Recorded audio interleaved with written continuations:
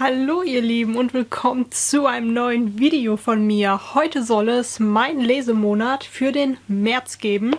Und ja, ich war im März äußerst erfolgreich, aber bevor ich mit dem Lesemonat anfange, zeige ich, ähm, rede ich mit euch als allererstes über mein Subglas ab. Ja, mein Subglasabbau war diesen Monat gar nicht so erfolgreich.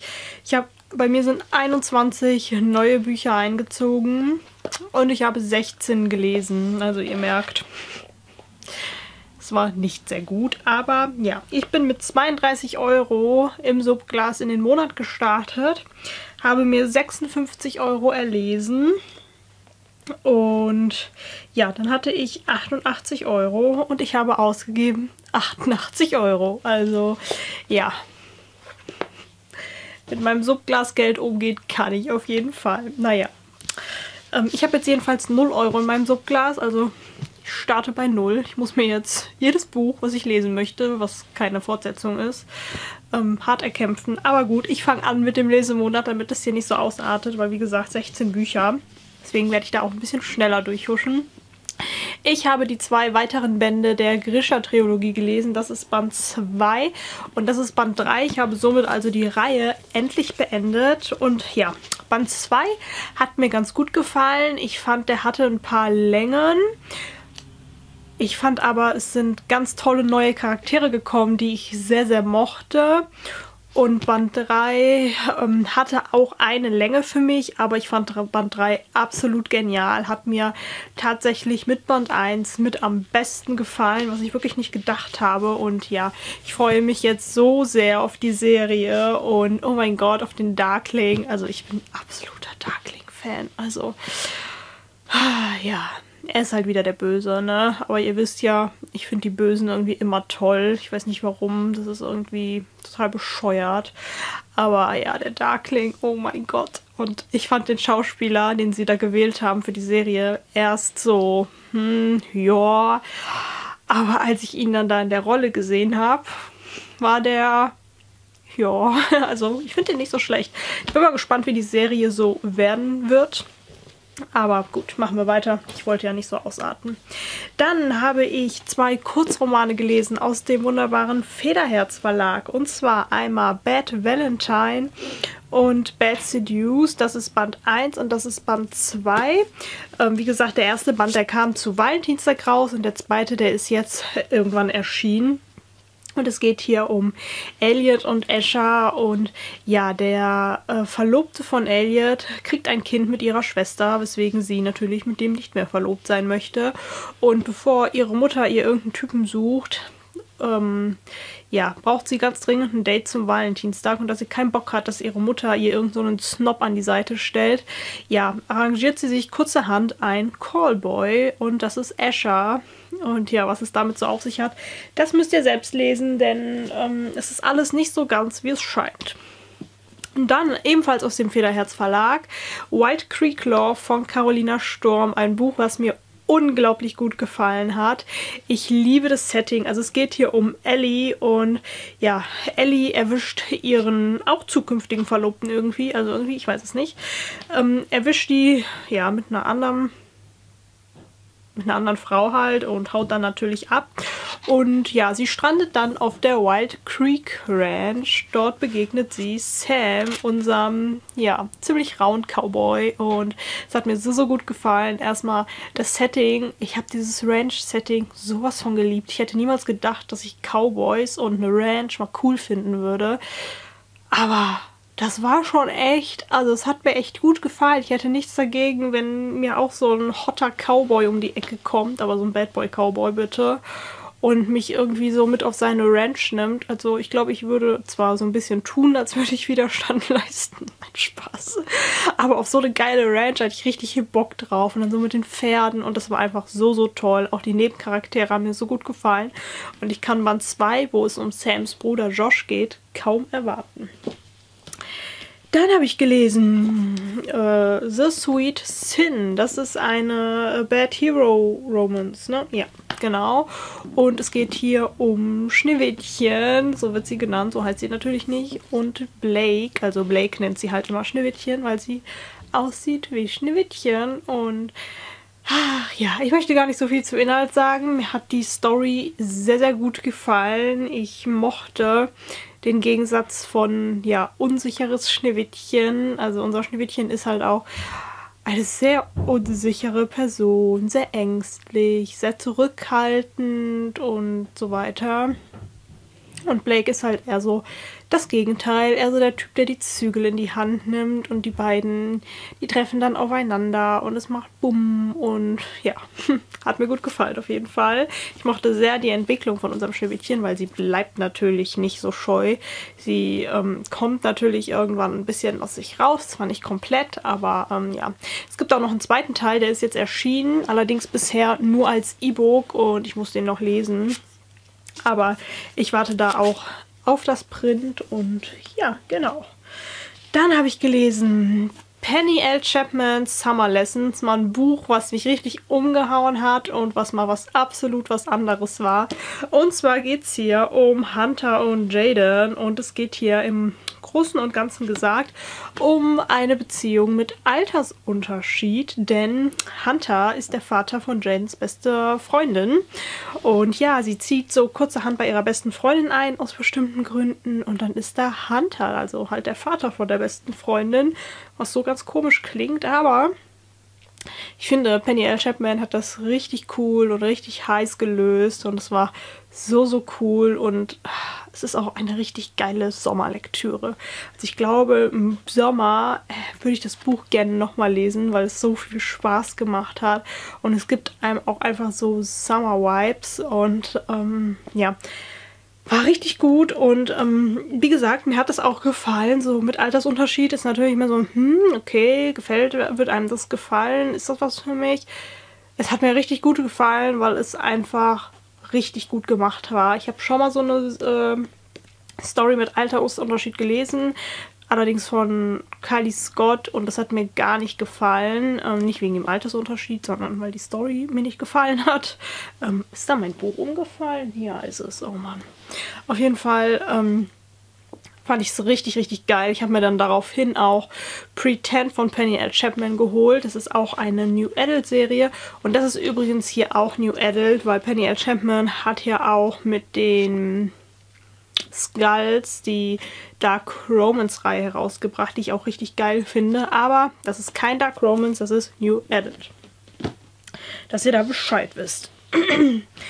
Dann habe ich so gelesen und gehört, ich mache immer so einen Mixmax. Ich fange meistens an, Hörbücher zu hören, wo ich nicht so große Lust habe, das Buch zu lesen.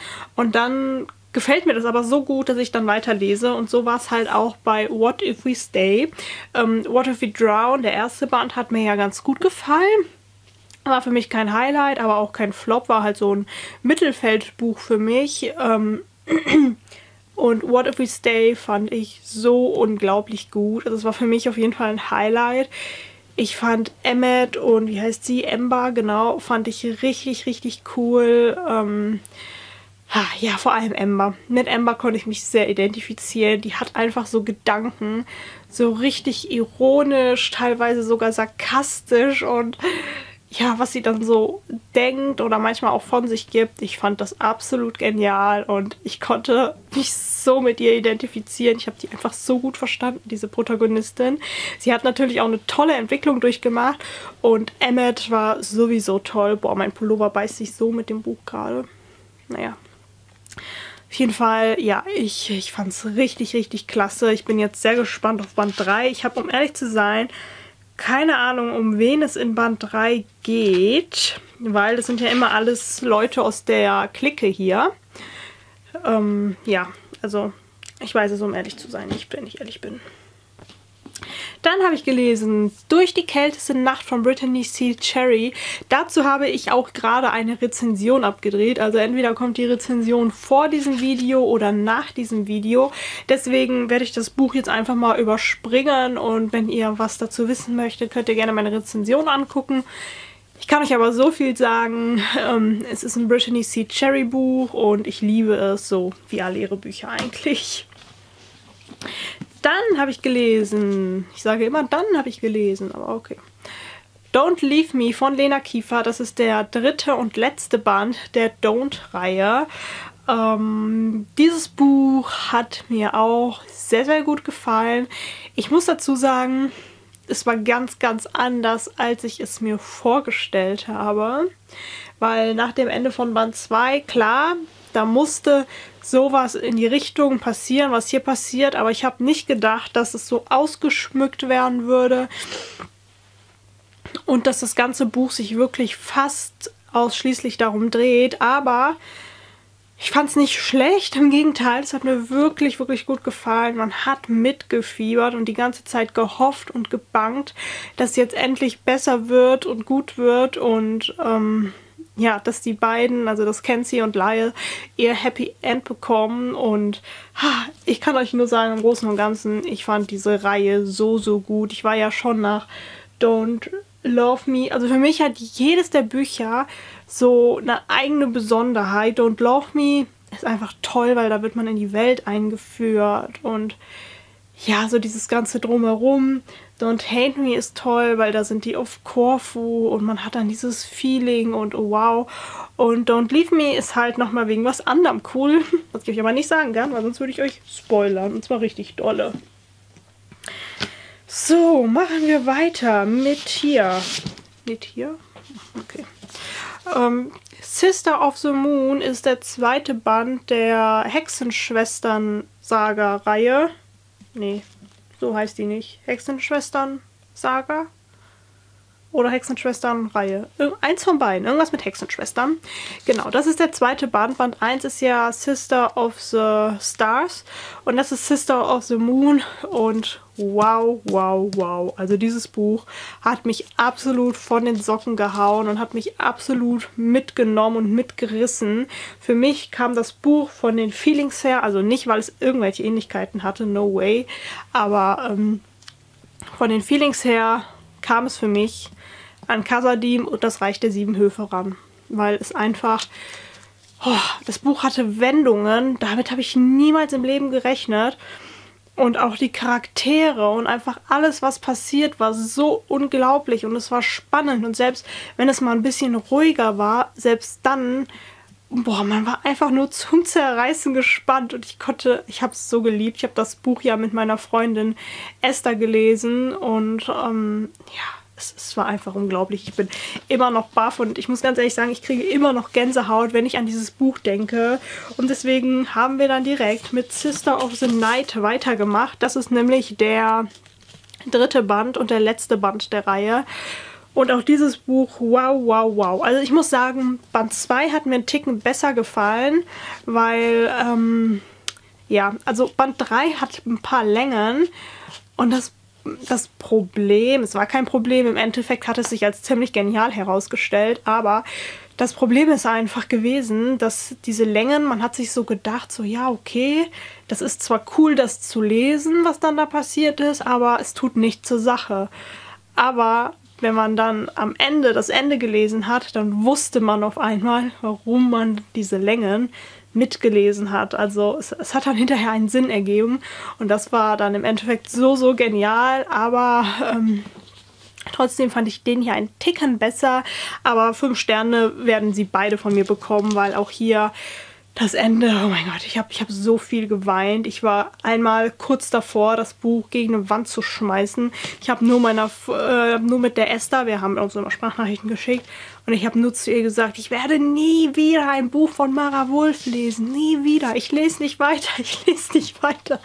Und ja, da habe ich so ein kurzzeitigen Aussetzer gehabt. Ich habe natürlich weitergelesen, als wenn ich das Buch einfach mittendrin abbrechen könnte, aber trotzdem, also die Frau, die hat mich echt fertig gemacht, die hat mich durch ein Gefühlschaos geschickt vom Feinsten und ich kann euch diese Reihe absolut empfehlen, ist für mich eine 5-Sterne-Reihe und zwar äh, durchgängig.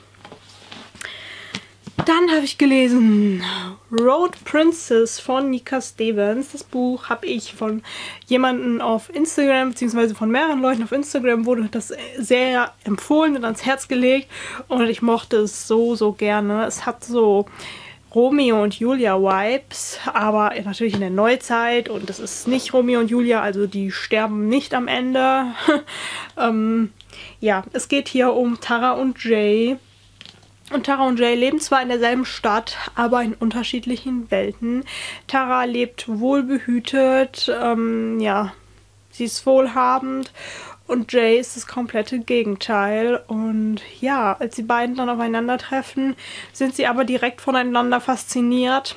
Aber dann finden sie heraus, aus welchen Familien sie kommen, beziehungsweise Jay findet heraus, aus welcher Familie Tara kommt und ähm, möchte da eigentlich direkt einen Bruch machen und mit dieser Person gar nichts zu tun haben.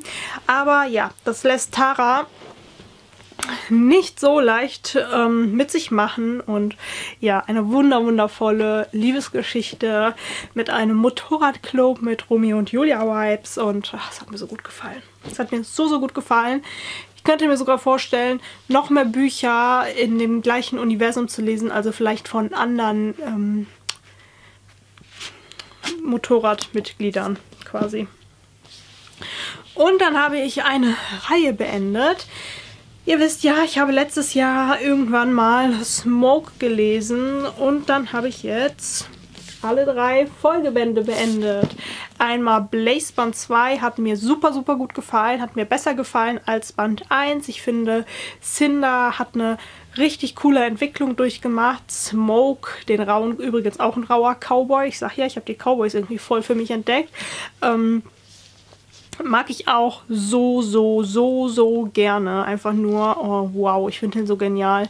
Und ja, hat mir viel besser gefallen als Band 1. Und dann habe ich Band 3 gelesen und auch der war wieder krass. Cinder, wow, also wenn ich mir die von Anfang an angucke bis zum dritten Band, die hat sich echt heftig entwickelt.